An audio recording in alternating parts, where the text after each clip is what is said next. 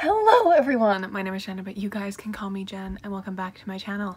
I'm speaking a little bit quieter because I am currently hiding in my library because my dad is on a meeting.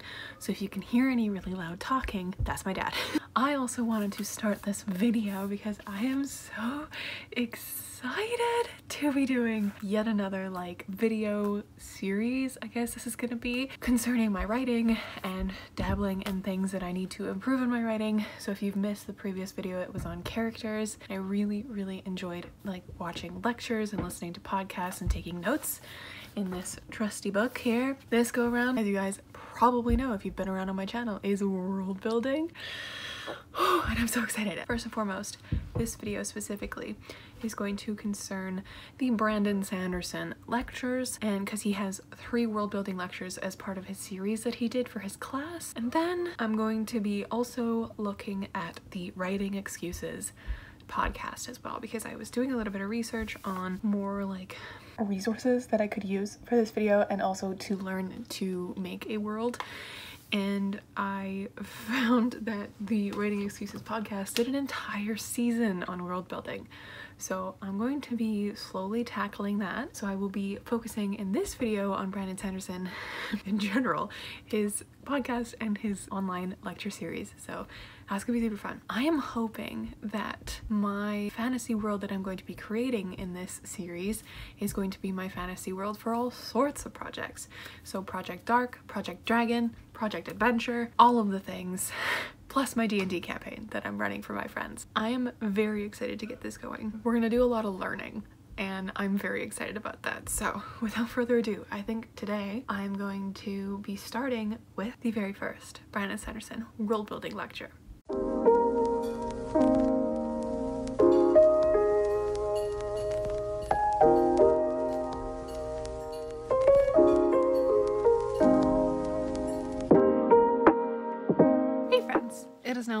Later.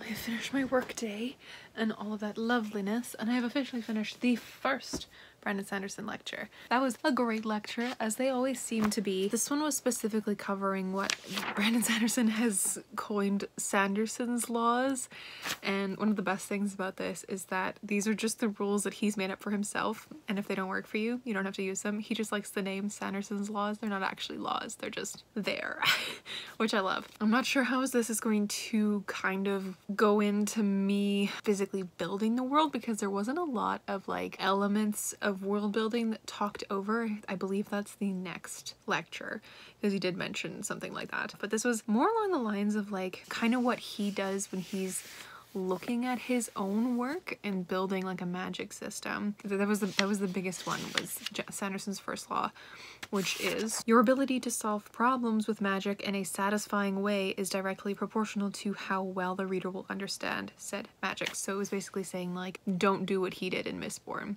which kind of gives Vin of Deus Ex Machina, right? Like it gives her this thing at the very end of it, which basically saves the day that we didn't know was real until that very moment, which is just foreshadowing for the rest of it. So that he says that this law is basically foreshadowing, like you want to lay out, you want to give your characters the tools they need to face these tasks that they're given well without having a greater power come in and save them basically. So that was Sanderson's first law, which was really interesting. It was more about the magic system, but it wasn't about building it. It was just like things you want to watch out for and like a little bit about building it because he gave us the sliding scale of, he likes his sliding scales of like sense of wonder, which is on one side and then like magic sciency like super hardcore science magic like magic makes sense and has rules and then he used the example of lord of the rings which uses both because you have the ring you have frodo's ring for example that is technically more of a hard science thing because you know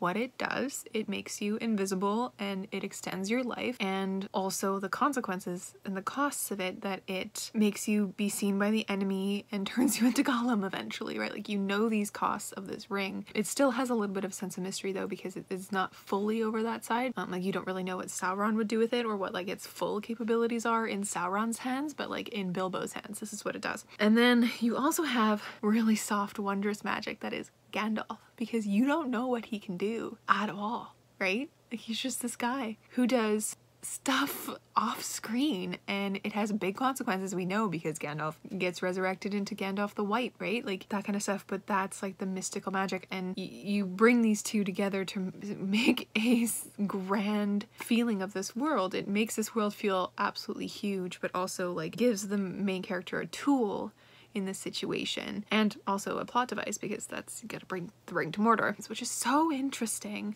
I really enjoyed it. And the second law was really interesting because it's like the different kind of stories you can tell when you deal with magic. And he talked about flaws limitations and cost both in your magic and in your character. And that's where your your story will lie is in the flaws and limitations and cost both magic and your characters. Because you don't like it's cool to have a power but the stories are more interesting in the flaws of that, like in the limitations of that power, you know? Like it'd be super cool to be able to fly and have unlimited telekinesis, but you get a better story when you're dealing with like what Vin has when you have limitations on your magic and you can only do so much with the ability to fly, which is she pushes off of metal to launch yourself into the air, right? Like there's limitations and there's rules and guidelines to magic, which makes it more interesting because that's like your characters have to learn to live with that. Love it. I, that's usually where your story lies, right? Like especially when you're dealing with character, which I did before in my previous video, you have like your story is basically in the root of your character's flaws, right? They have to learn to overcome them and stuff like that. So it was a very good, a very good lecture. And I'm intrigued to see how this will come into play when I actually start world building for myself, like going into it more. Also really intrigued to watch the next lecture, which I might do now because I'm into this and I kind of want to do it because I'm very intrigued by it. So let's watch another Brandon Sanderson lecture.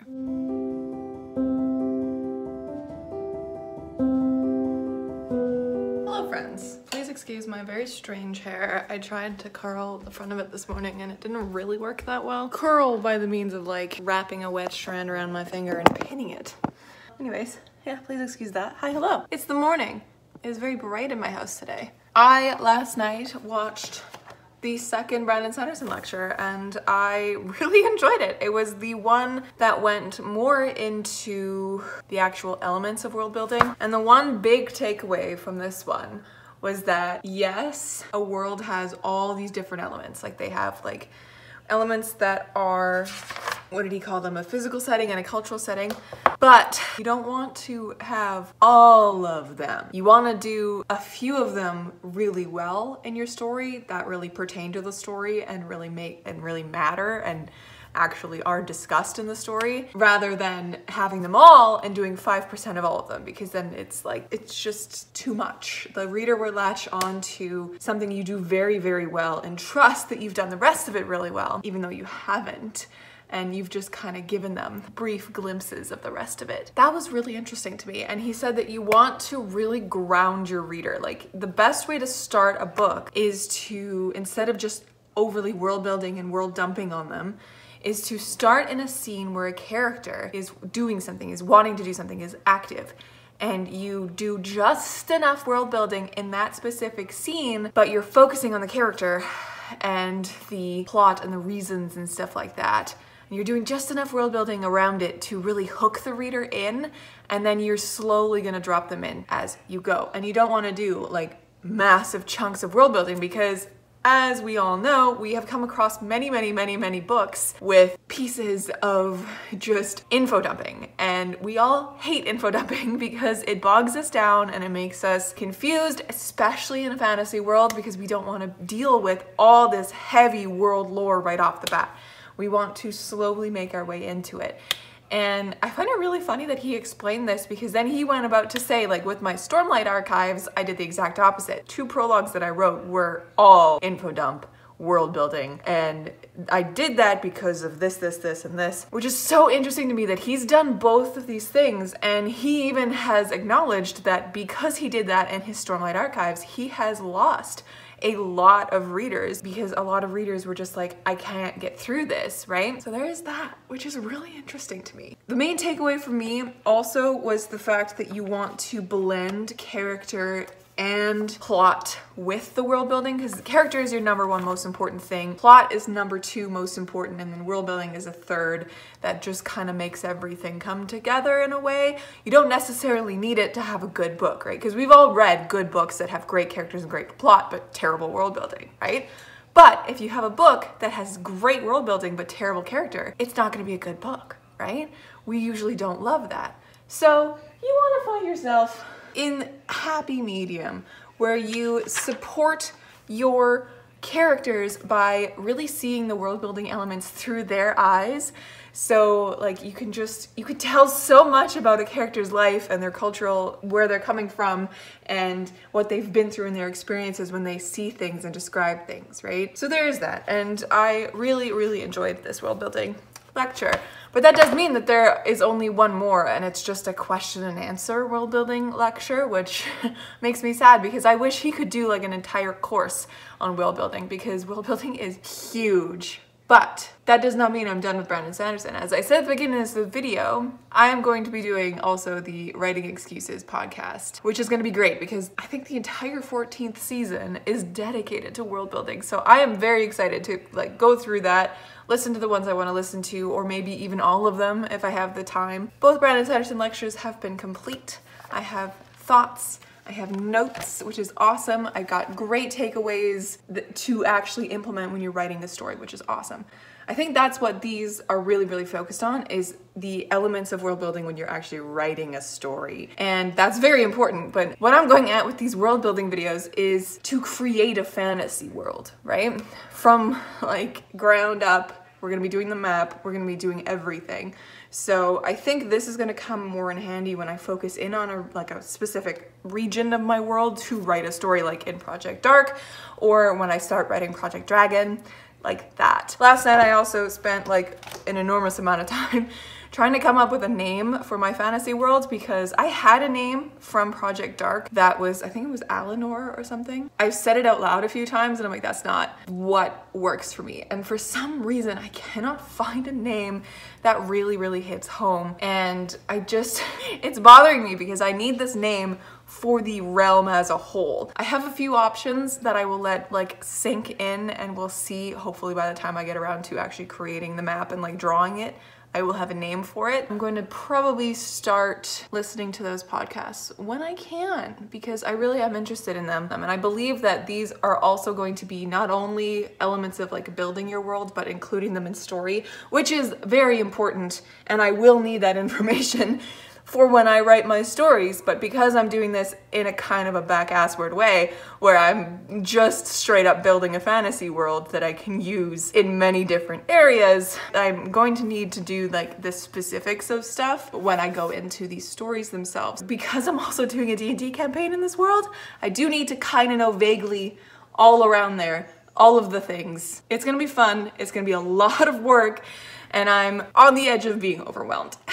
but yeah, I will update you guys a little later when I do more things and start learning more. Hello friends. It is now Saturday. Saturday? No, it's Friday. Oh my god. and I've decided to kind of change up my plan with this video a little bit.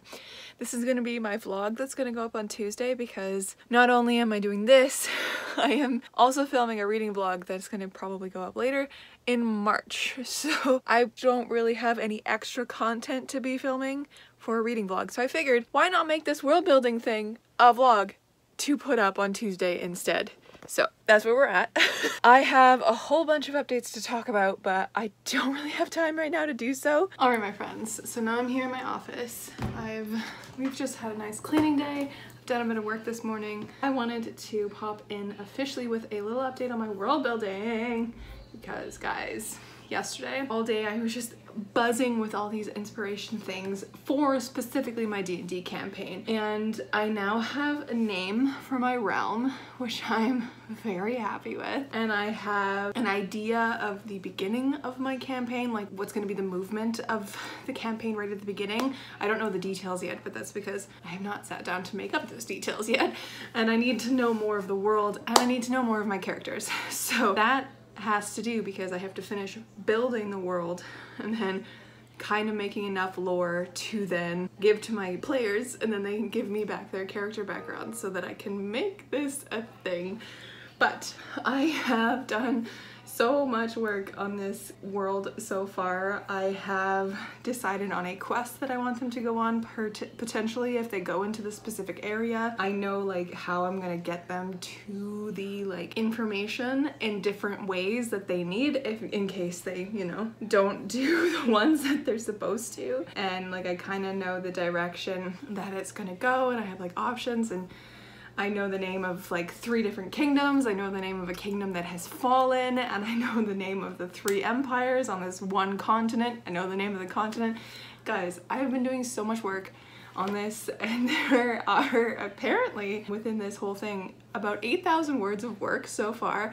So that's awesome because I opened up a Scrivener for this specifically and I have a gazillion little tabbies. I have a ton of folders, let me show you. So we have a ton of folders and like these are my PCs for the campaign.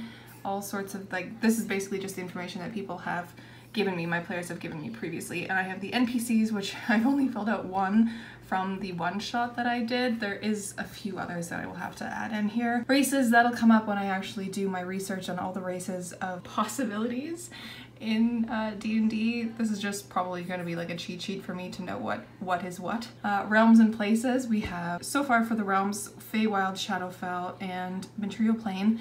And within the material plane, I have all of my stuff. I have the continent of Raverin, and then we have the Brenham Empire with the Three Kingdoms, and then the Nerian Empire and the Manad Dynasty, which I have yet to really think about. And then of course Physical World, I have some things already thought up here. I'm gonna have to do the Pantheon, of course, the encounters, some quests, and the storyline.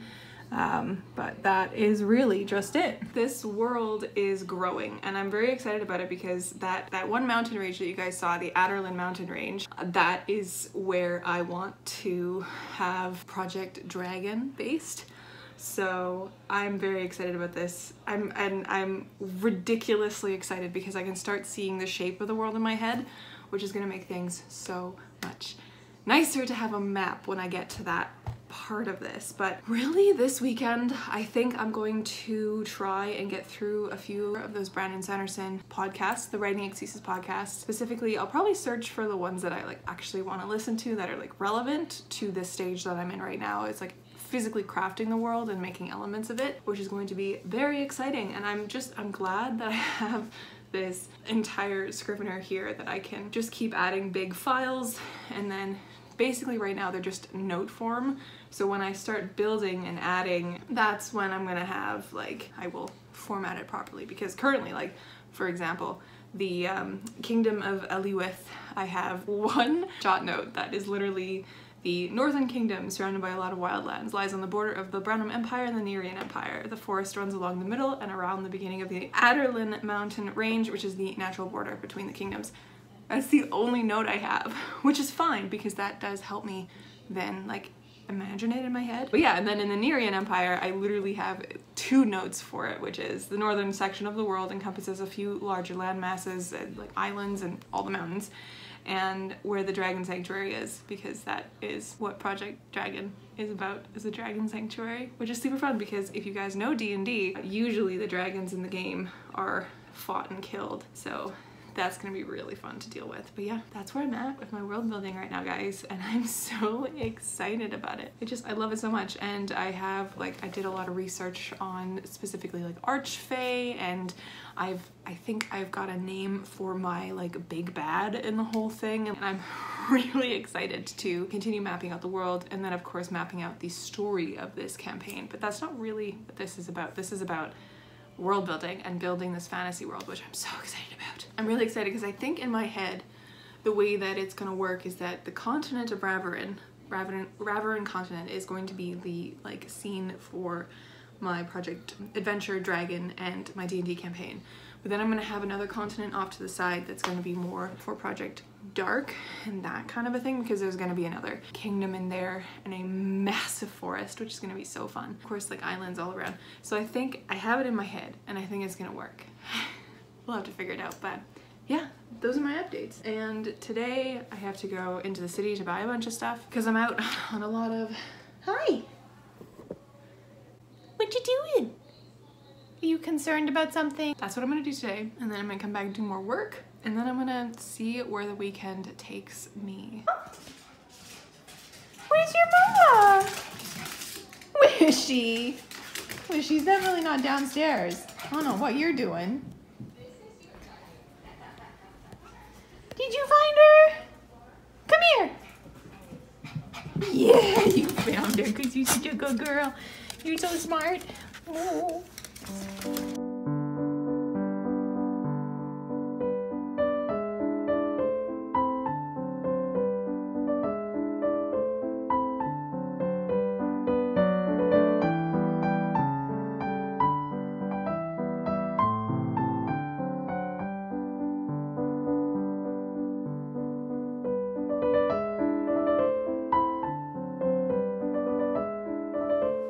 My lovely friends. Happy Saturday. Officially, it is actually Saturday today.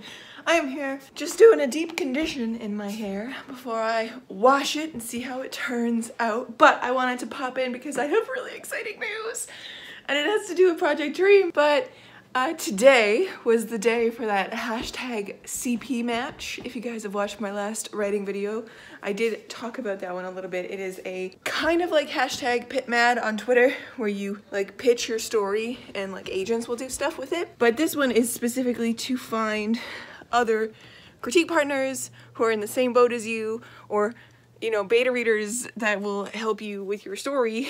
and I joined it this morning and I was like scrolling through the CP match entries and I found this lovely girl who was writing an Arthurian legend book and I was like immediately like I don't I just want to read this book. Can I be your CP match? And then she saw mine and she was like I love it so much. Can we be CP match people? So we're currently talking on Twitter right now discussing our stories and like what we want from a CP match. And it's so good and I'm trying not to get too excited in case it falls through, but oh, it just to have like somebody else look at it would be amazing and I'm so ridiculously excited. But yeah, so that's an update.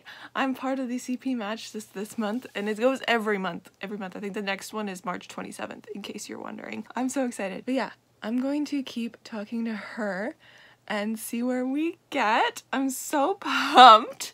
Oh my goodness. And um, another random life update. Last night I finished my sweater. That beautiful thing.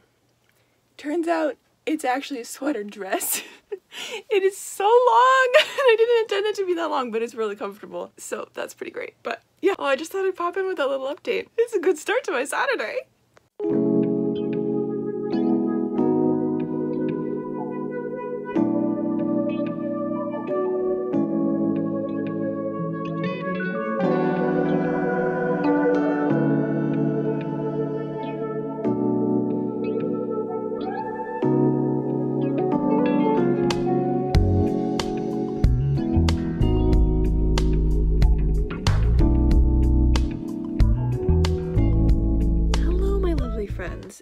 Now Sunday night, and I'm popping in to kind of give this vlog a little bit of a wrap up because I have thrown all my footage into my computer and I have a lot of footage for this vlog already. This specific video I intended at the beginning to do like a Brandon Sanderson focused world building type of thing, and I have done that, I think, with the two Brandon Sanderson lectures that I watched. I did not manage to listen to any of the podcasts or finish that third lecture, but that's just a question and answer lecture, so it's not that important. I also managed to do a fair amount of work on my world in the respects to my D&D campaign and in naming the realm. I have a name for my realm now and I have a name for the continent. I have a name for the three empires on that continent and in one of those empires I have the names for three kingdoms. So like I'm slowly breaking it down and in my head I'm starting to get a picture of what I want, which is awesome. So that's incredible. But I was just editing this video actually, and I did mention way earlier around like the 13 minute mark that I was going to use the information for like from Brandon Sanderson's lectures because they are very story based like world building when you're writing a story which is as I mentioned kind of not what I'm doing here like I'm building a world first to then use in many different stories. So I'm doing a very broad stroke before I dive in specifically to a world. And I just had the brilliant idea that because it is currently, as I'm filming this, it's the last day of February, we're going into March. The next month after March is Camp NaNoWriMo. It's April. Camp NaNoWriMo is coming up in a month. That's crazy. I totally did not even realize that. I was thinking that once I get my general world strokes done, I'm going to focus in on one region and start planning specifically for Project Dragon because I really would like to start writing that for Camp Nano and I would like to really hone in on that specific world building that I need for that story. So I think that when that comes around, we'll do more of the actual story building stuff that Brandon has mentioned in his lectures and probably in his actual podcast as well when I start listening to that. And we'll use those elements that I learned to build that story, which is going to be very exciting. And hopefully, I will be using my character knowledge from my previous exploratory thing that I did, uh, my character video. I will be using that to also build my characters for that book as well and hopefully through both the world building and the character somehow really hash out this plot and make my outline. So what I'm saying is that in March, stick around because we're going to be finishing up this massive world building stuff. I really want to do the map next, I think, but I think I'm going to have that and also really focus in on the Project Dragon region and do that once I'm ready to start working on that specific story because I think that would be really fun to do. So stick around for that. If you haven't yet, subscribe because it's going to be a great time. I can I can just feel it. Join me on this journey and it's going to be great. Um, another update on Project Dream. I have now two, I think, critique partners. I have that girl that I talked about earlier in this video as well as another one that I read her first three chapters for. We swapped our first three chapters just to see and I'm really excited about that because she's actually writing a middle grade story and it's weirdly started basically the same as mine which is on a moving day which is so funny. I'm very excited about that and to take you guys along with me until I talk about it in my videos as well but March is world building month so stick around because it's gonna be a great time but yeah Thank you so much for watching. Make sure to subscribe and like this video if you haven't, but I'll catch you in another video soon. Stay kind and keep on reading. No, wait. Stay kind and keep on writing.